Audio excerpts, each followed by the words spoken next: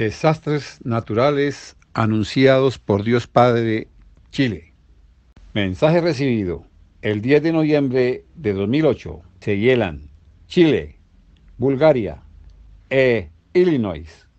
Helada dará, se eleva la nieve, dolor dará, oren.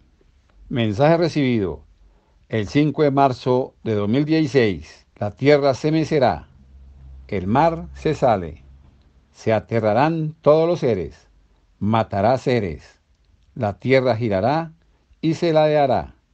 Habrá desastres en Brasil y Chile.